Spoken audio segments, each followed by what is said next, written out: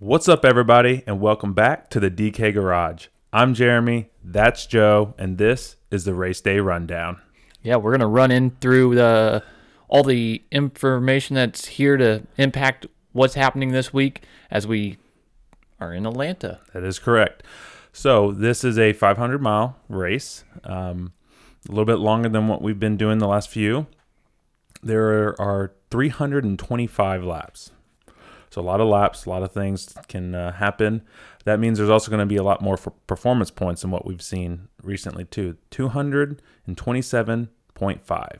Yep, and the stages are a bit longer too 105, 105, 115.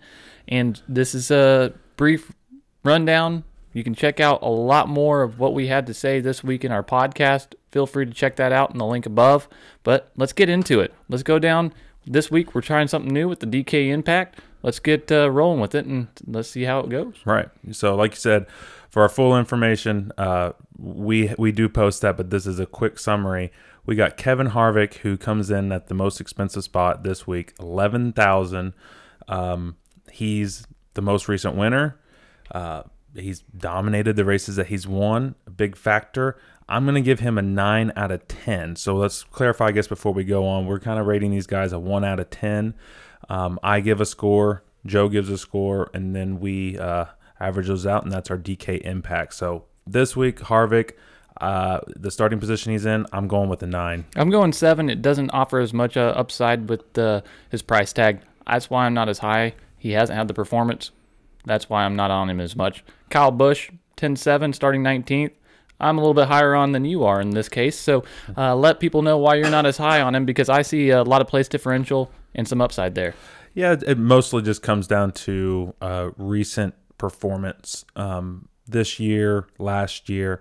They're just just missing the mark. So, um, not a complete fade for me. I'm giving him a six. I'm just kind of cautioning people on him a little bit. He's just, um, but I know he's a little bit more your favorite. So, You know, well, I had more high expectations this year. 10 what'd you give him? You gave him. I gave him an eight, yeah. yeah. Kyle Larson, 10 4, starting sixth. Um, I'm on an eight with him. He's somebody I'm confident, especially with recent performance. Yeah, he's been really strong. Really like what we've seen from him and that team this year, um, except for those speeding penalties last week that kind of bit him. So if they can clean that up, uh, he looks great here. Atlanta's got great history and lesser equipment. I'm at an eight as well. Brad Keselowski's on uh, the salary board next at 10 2. Starting fourth, he's a guy we've seen a lot from, very confident in. Starting uh, starting up there, we can get some lead lap or laps led. I'm pretty confident giving him an eight. I'm right there with you. Uh, if it's not Harvick winning, it's Brad winning. Um, so it, he may be the one who pulls this out. Uh, I like what I've seen from Penske. Um, they've been they've been real uh, real strong this year, and Brad's real good at this track. I'm giving him an eight as well. Next one is Denny Hamlin, starting at uh, first on the pole, 10,000. Went into some reasons why uh, he could pan out in our podcast, some reasons to be a little bit uh, leery of having him on the uh, on your in your lineup. I'm giving him a seven. I'm a little bit more confident in his ability than you are. It looks like you gave him a five. Yeah, I'm at a five just because there's no PD upside with him. Uh, he's ran really strong, but this is a track that he has struggled at a bit. Um, so kind of for that reasons, I'm, I'm, I'm a little bit more hesitant, especially at 10, uh, 10,000. So five for me. All right, Chase Elliott, nine eight, starting fifth. Doesn't offer a lot of upside, but we don't see him priced under ten thousand very often. I'm a little bit higher because of that. I'm I'm liking him. Not a gr- lot of great performance here, but somebody that's uh, obviously a champion. Yeah, I think if he was starting maybe um, a few extra spots back, ninth, tenth, something like that, then maybe I'd be a little bit higher on him because uh, he has had good performance here, but this is also not one of his better tracks. So he has struggled. I'm at a six, real close to you, but uh, a little bit more uh, caution on my end. Martin Truex, nine six, starting second. I like him a lot. Uh, I'm giving him an eight. There's a lot of stuff that uh, I think lends well, especially with recent experience or recent uh, performance this year. Been very consistent. We went into detail in the podcast about that. Uh, that's why I'm very confident giving him an eight. He's got uh, a lot of momentum coming in too. I mean, he won Phoenix, uh, dominated, really looked good.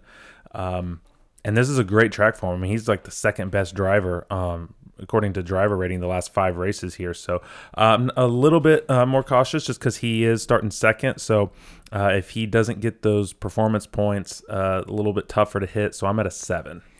Moving on down to Joey Logano, 9 4 starting third. Very similar situation to Martin Truex. Very good throughout the season so far. Decent here at this track.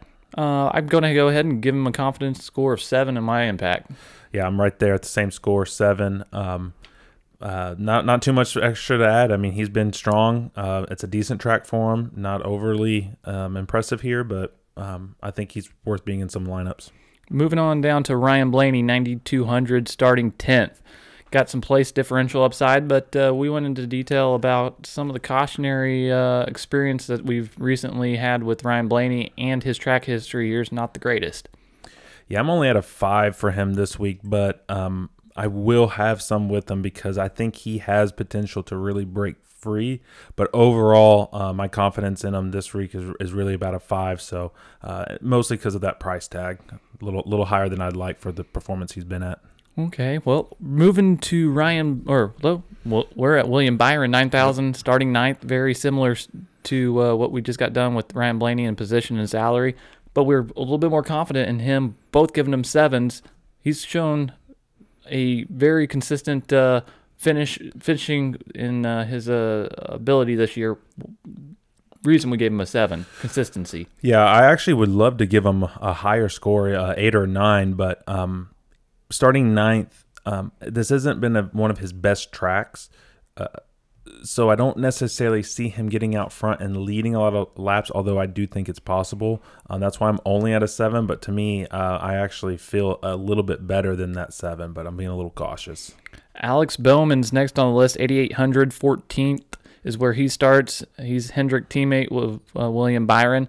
I'm a little bit more, uh, I guess, on him at uh, giving him an impact score of seven because I like where he's at um, in the starting grid, and he's could perform more than he has really, I guess, proven already this yep. year. I expect a little bit more. I think he has at some point this this year. I, I, truly believe he will have a breakout race. Whether he wins or not, that's hard to say. But I think he'll he'll get up front and he'll really showcase some some nice speed.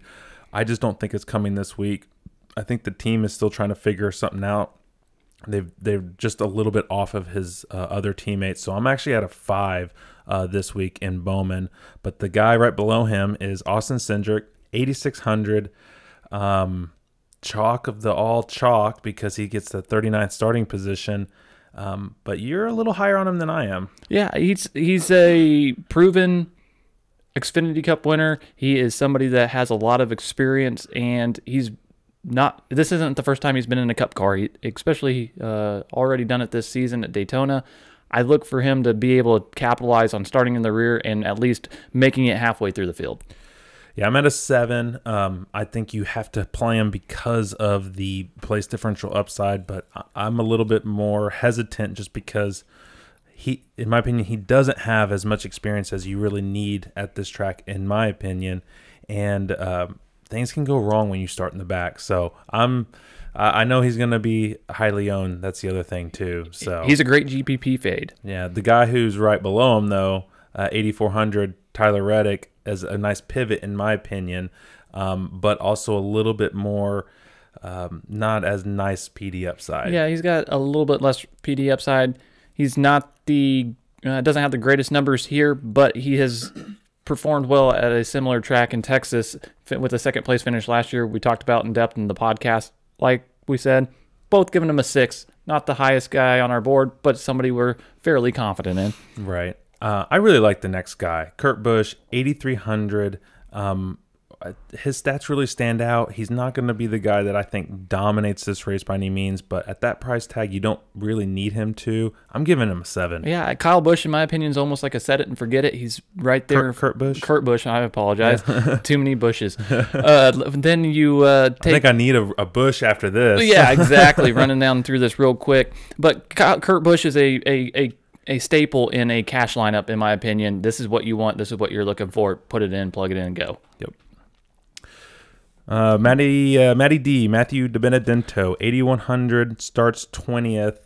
Um, I'm at a six, but you're at a five. What's your deal with Matty D this week? Man, we talked about it in the podcast. I just don't have the confidence in what they're doing yet. Uh, I think they'll get there. There's some stuff they're ironing out, but that's why I just haven't seen it yet. Okay. Um, moving on to Aric Almirola, 8,016. Um, he's he's somebody that's in a similar situation, similar uh, experience throughout this season, but he has had rec- more recent success. Yeah, we're um we're at a six, so we, we feel similar about him. But I feel like during the podcast, maybe you were a little bit more favorable. I'm a little more, more hesitant, uh, but somehow we both ended up at a six. So I think it's a solid play, uh, eight thousand, um, but not one of my favorite plays. Moving on to Christopher Bell, 7,800.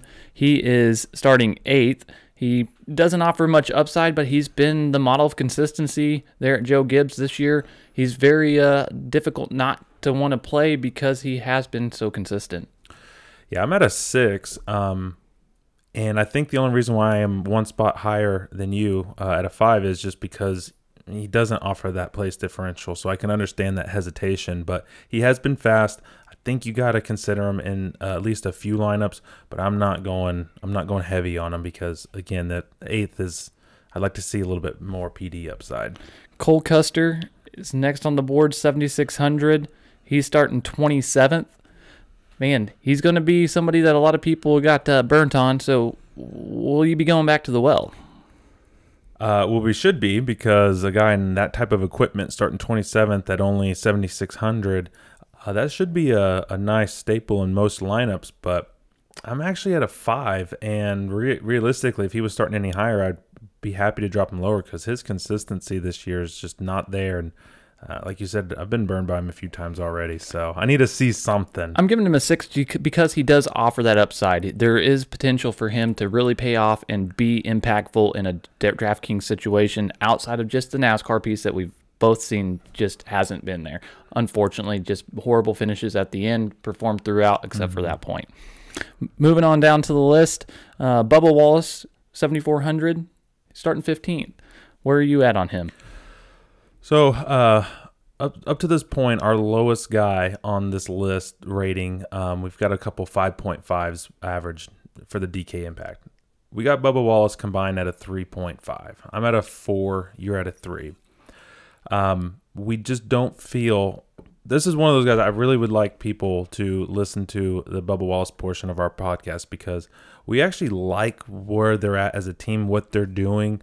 Um, the problem is, is we just think that best, he's probably going to finish around where he starts. And from a DraftKings perspective, that doesn't offer you much upside. So that's why he's really uh, the lowest guy on this list up to this point. And you you, you summed it up very well. Uh, that's why we're low on him in the DK impact. We're high on him throughout the season and what their progress has looked like. Unfortunately, just this week it doesn't align with the DK impact. Right. Uh, moving on down to Austin Dillon, 7,300, starting 13th he's a guy we're both uh, middle of the road on. right in the middle, five and five. He's averaging uh, right there in the 12th, 13th place finish. Um, something that we expect potentially to see here again. I think it's very similar to uh, Bubba Wallace. We think he's going to finish right around where he starts.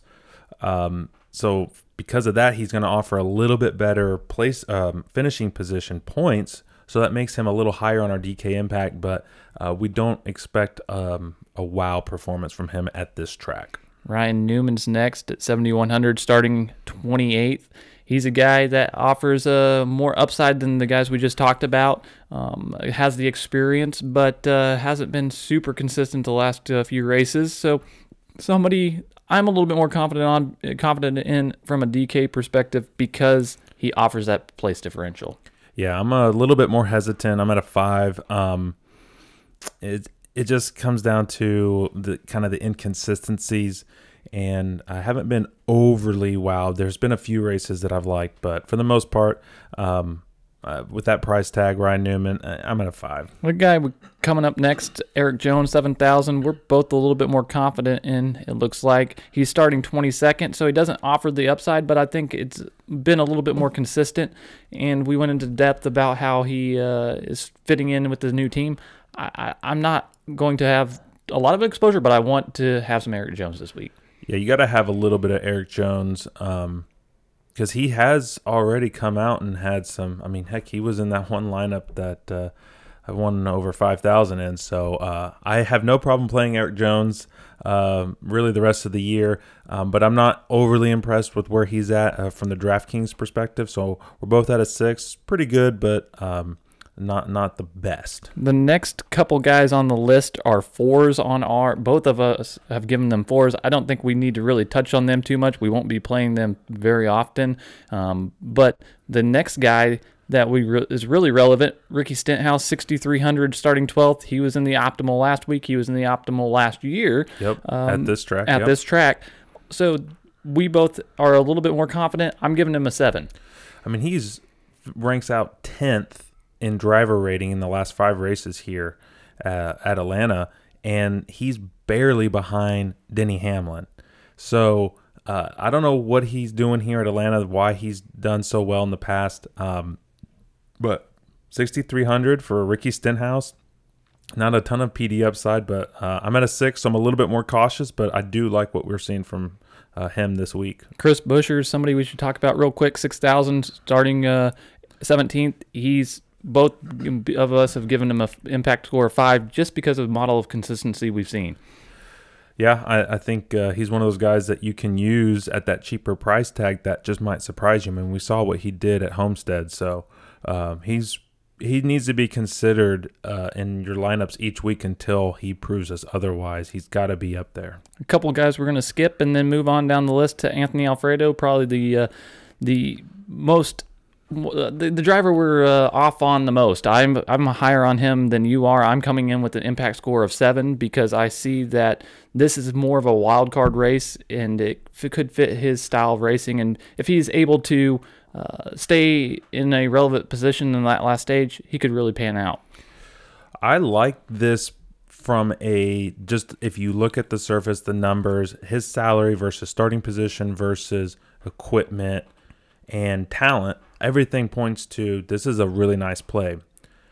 But the thing that we talked about in in our long form podcast was he doesn't have the experience yet because he's a rookie and he's not getting practice or qualifying to get those extra reps and he really needs that. So until i can see a little bit more consistency and actually the, be able to finish races he's going to be way cautious i mean i'll have some but that's why i only have him at a four well, that pretty much is all we wanted to talk about from a driver angle. You can find our complete rundown in the our race guide. We have the DK impact portion in that as a segment, along with a lot of other information that's relevant this week as we come into Atlanta.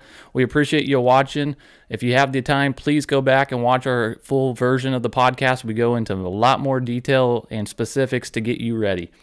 Yeah, we spent a lot of time with it. Um, Thanks for joining us. Please like and subscribe if you enjoyed this content. If you see anything that you'd like us to start adding to these uh, race day rundowns to be a little bit more uh, informational, drop a comment down below. But with all that being said, man, uh, good luck to your lineups. I'm hoping mine do well, and I hope you guys do well as well.